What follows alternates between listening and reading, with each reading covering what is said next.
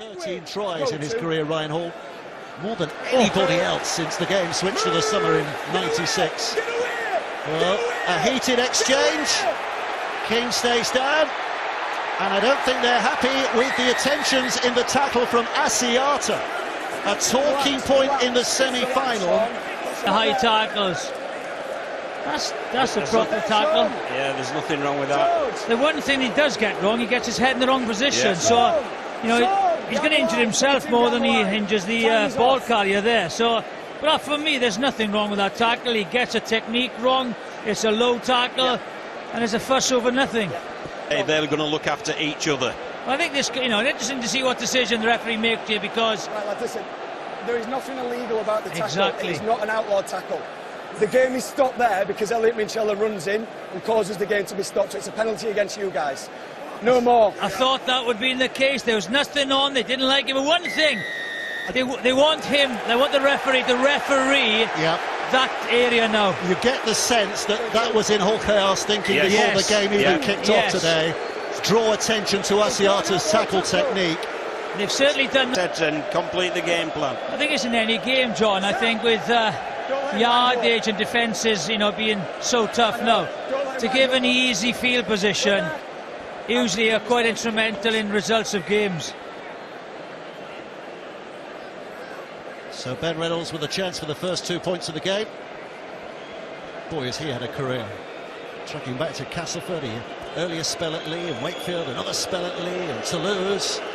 And back here in the last couple of years, a chance here to give his side a Wembley lead. With less than five minutes played, and he has struck. Here's Litten. Looking right to Minchella. Looking to get himself through here, and he has. He's shrugged off a couple of defenders, and he has support on the inside, and it's Litten to score.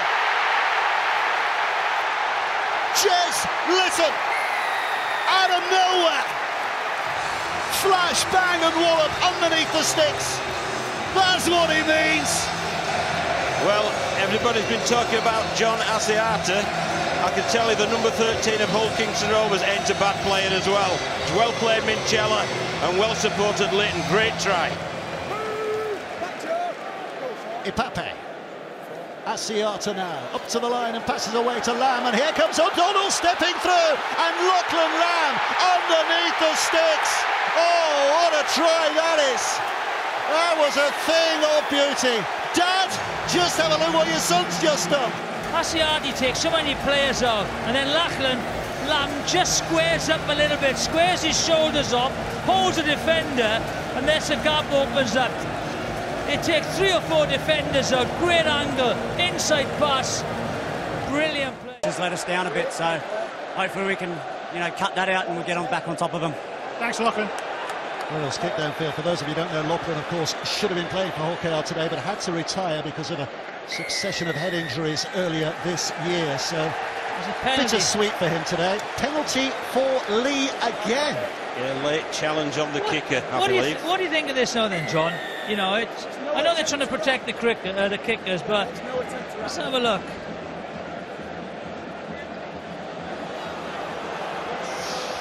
Well, I think he's saying that if you, if to go and attempt to Yeah. make a tackle and wrap the arms, Again, that's a clumsy tackle again.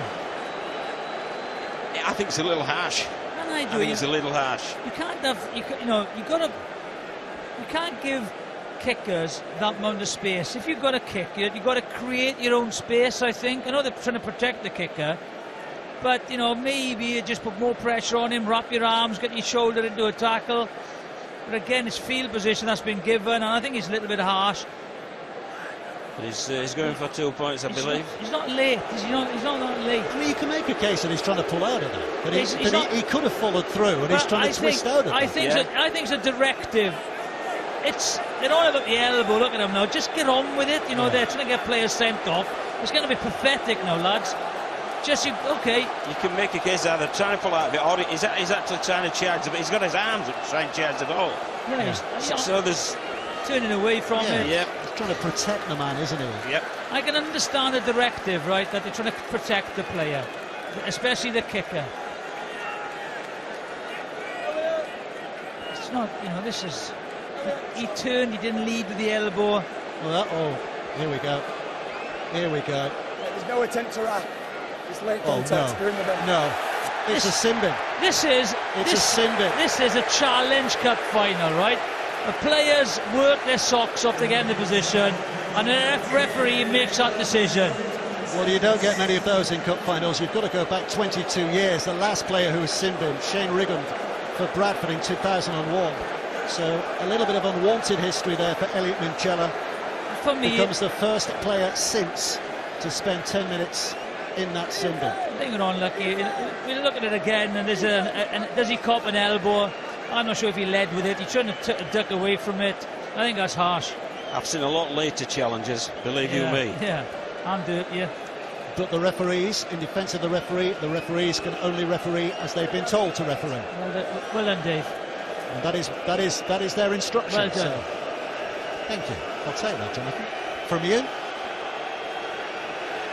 Reynolds.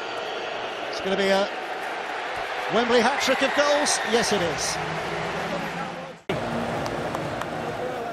So maybe one more play here.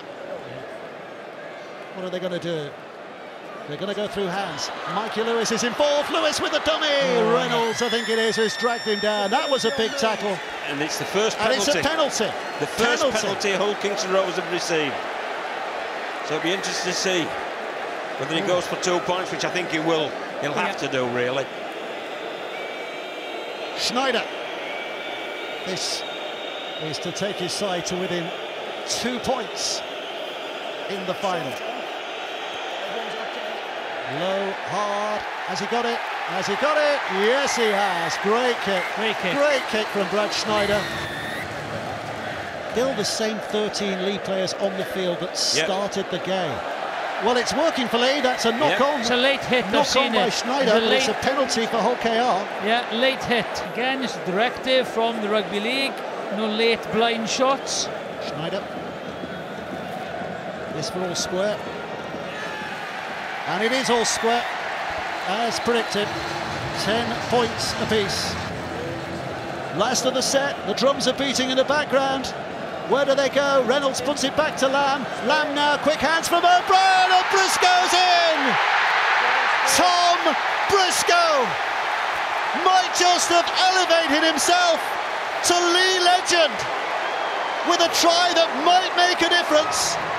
There's still a lot of time to go here, but it's a crucial breakthrough. There's one play, one play. Schneider up in the air. Where's this coming down? Kenny-Dowall's after it. The ball pings around. It's dropped on. Is it a try? Is it a cup final saving try? Is it a knock on? The referee has gone for a square in the air. There's a lot to look at. No, he says try on the field. In the contest. So Ligas isn't a try here, so we have to have sufficient evidence to prove this touches a Hull KR hand. On the basis of the angles I've seen, there's no angle that proves to me this touches a Hull KR hand. So I'm playing on from this point, please. I'm playing on. I'm going to stop it on there. Stop it there, please. Thank you. I've made my decision. It's been painstaking. It's been a precise examination of all of that. And in the end, it's a potential match-saving, dream-saving touchdown by Matt Parcell that gives hope It's going to be the last kick of the game before we go to Golden Point.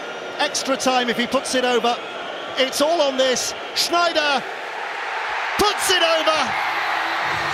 What a name he's made for himself in Hull Rovers folklore. Brad Schneider. We're going to Golden Point, extra time. Back with Lamb. Here comes Ipape. Straightens up. He knows the route. He knows the route. Is there going to be another drive, or do they go for They've goal from go now? one again. Back it comes again.